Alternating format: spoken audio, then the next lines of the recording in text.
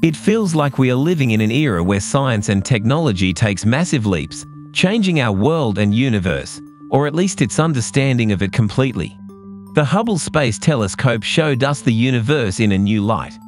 But what we are now experiencing is a revolution. A revolution like no other. The James Webb Space Telescope has only begun its science operations, and it is already breaking the very model of our universe. Welcome to StarXtreme. Think bigger, go beyond. We are well aware that the James Webb Telescope will lead to some groundbreaking scientific discoveries, and humanity cannot wait. The most potent telescope in the world can do wonders for astronomers and also give them sleepless nights. Let's see how. Only in July, astronomers found GLASS-z13, which was the frontrunner to be the oldest galaxy in the observable universe. But now, a new candidate has entered the party and it is so far away that it can break the models of our universe. In a paper released on August 5th, Rohan Naidu, an astrophysicist based at Harvard's and Smithsonian's, jointly operated Center for Astrophysics, has detailed another distant galaxy candidate from one of Webb's early release science programs, known as CEERS-1749. It's an extremely bright galaxy that, if confirmed, would have existed just 220 million years after the Big Bang, and it could also rewrite our understanding of the cosmos. But there's a huge catch. CEERS-1749 could be one of the most distant galaxies we've ever seen or it could be lurking much closer to home. Essentially, the data seems to indicate two possible places for the galaxy to be, and we won't know which one is correct without a lot more observation. That's earned it the title of Schrodinger's Galaxy Candidate. So, how can a galaxy like Schrödinger seem to be in two different places? It's all about redshift.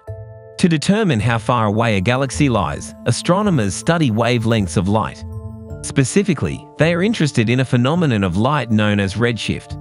In a nutshell, light waves leaving distant galaxies get stretched over time, shifting the waves down the electromagnetic spectrum and making them redder. So, ultraviolet light leaving a galaxy like Schrödinger won't reach Earth as UV light. Instead, it will be redshifted down into the infrared, which is great for us because that's just the kind of light Webb searches for and Webb has various filters looking at distinct wavelengths of infrared. In examining a galaxy like Schrödinger, you can flick through the wavelengths like you might flick through a photo album. On the first few pages, fewer red wavelengths, you won't see a thing. Then, as you turn through and the wavelengths become more red, the ghost of a galaxy appears. In the most redshifted wavelengths at the back of the album, the galaxy is a clearly defined object. Redshift is denoted by the parameter z, and higher z values mean a more distant object.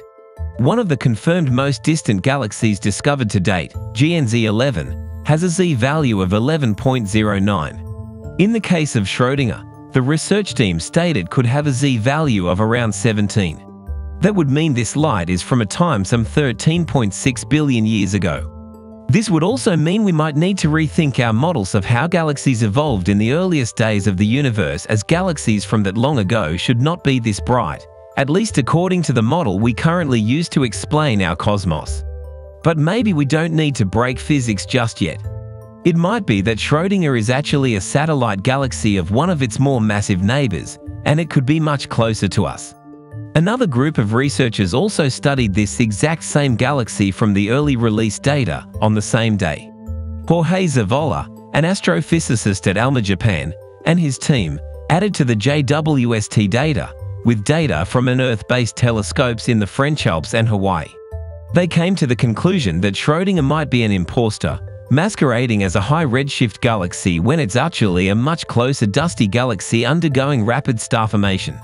Scientists now find themselves in a pickle, since the data suggests two potential locations for the Schrödinger, and no one is yet certain which one is accurate because further investigation and observations are still needed. In particular, spectroscopy will allow astrophysicists to scrutinize its redshift more accurately. The only barrier now is time, getting enough time on telescopes around the world to study Schrödinger and solve the puzzle. But hold on, Schrödinger is only a part of the massive image released by Webb. Thanks to an international team of astronomers, the largest image yet taken by the James Webb Space Telescope was released in July. CEERS, the Cosmic Evolution Early Release Science Study, has released a massive mosaic of all the data they were able to gather in their first observations of the early universe, with what they refer to as an unexpected, but not unwelcome abundance of never-before-seen galaxies. The image that has been released is actually made up of data from the near-infrared camera, the near-infrared spectrograph, and the mid-infrared instrument taken in parallel and carefully stitched together. The official release zooms in on six especially interesting galaxies out of the vast number contained in the immense image. The first is a beautiful bright blue spiral lamb galaxy at a relatively recent redshift of 0.16. You can easily make out bright pockets of star formation within the arms of the galaxy. The second is an elliptical galaxy at a redshift of 1.05. The third is a set of interacting galaxies from around 9 billion years ago. The fourth is two spiral galaxies interacting. The fifth is an extremely detailed image of a spiral galaxy from 6.4 billion years ago, and the sixth is a set of bright red and orange murdering galaxies. The images indicate that massive galaxies were already forming in the earliest days of the epoch of reionization, when the plasma that evenly filled the early universe collapsed into more familiar stars and galaxies. Despite its tremendous size and all the ancient galaxies contained within it, the image is just a tiny slice of the sky. Webb's work has only begun, and very soon, we will unfold the universe like never before.